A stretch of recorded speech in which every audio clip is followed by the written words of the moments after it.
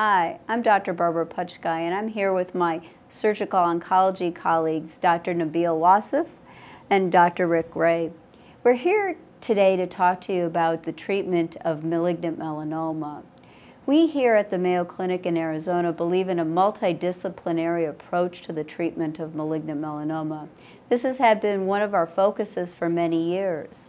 From a surgical perspective, I think we have actually advanced the treatment of malignant melanoma significantly.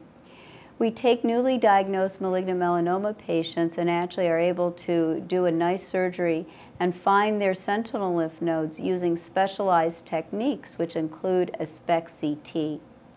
These techniques allow us to find the lymph node without any difficulty and we have shown that we have a very low false negative rate, meaning that we don't miss a lymph node if it's there.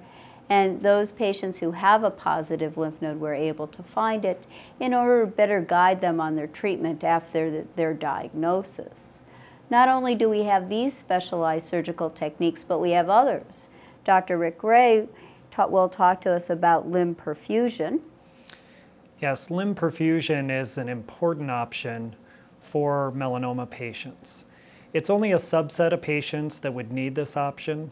For some patients with melanoma, they have a recurrence of their disease that affects much of the skin of their arm or leg. While the disease has not spread elsewhere in their body, the amount of disease on their arm or leg is too much to remove surgically. Unfortunately, many of the chemotherapy and other types of options aren't as effective in this setting. So what we're able to offer is a specialized technique where the person's arm or leg during the course of an operation is put on a bypass machine. That bypass machine then has a special chemotherapy introduced into it so that very high doses of that chemotherapy can affect just that arm or just that leg where the melanoma is. At the same time, the patient's body otherwise is isolated from this treatment so that there are not toxic side effects from those high doses of chemotherapy. It's a very effective option for these patients, provides good results with low rates of complications. And importantly, in many patients, it's an option that allows them to save their arm or save their leg from amputation. Thank you. This is a very important technique for a large percentage of patients. In certain patients, though, this technique either fails or that that is not the right patient to undergo limb perfusion. We have other techniques to help patients who have these multiple spots of melanoma on either an arm, leg, or even head and neck.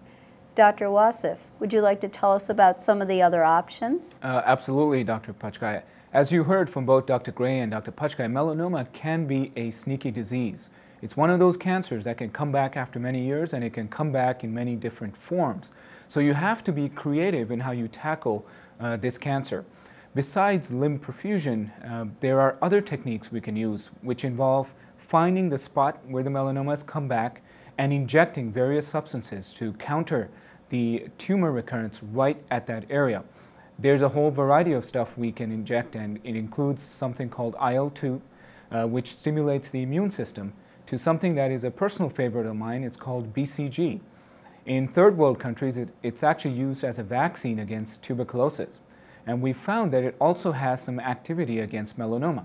And it's actually quite effective. It's a kind of therapy that's offered maybe perhaps in a handful of centers across the country, but we do have that here. Uh, for us, it's a very exciting time for melanoma because besides this kind of therapy, there are drugs now that are coming out that are effective against melanoma. We never really had good drugs against this disease in the past. And if you read the news, you may hear of things like CTLA4 inhibitors and BRAF inhibitors. And keep, uh, keep, keep watching this space because I think there's going to be a lot of progress with melanoma in the near future. Thank you, Dr. Wasif. And I would just say that along with our medical oncology colleagues, we do have a number of clinical trials to offer to our melanoma patients. We also offer some of these specialized immune therapies here at the Mayo Clinic in Arizona, including high-dose IL-2 therapy, which is something that certain patients qualify for and may work and may sometimes give prolonged survival in patients who have metastatic disease. So if you want to find any more information regarding this uh, disease and what we have to offer here at the Mayo Clinic in Arizona, please see our website.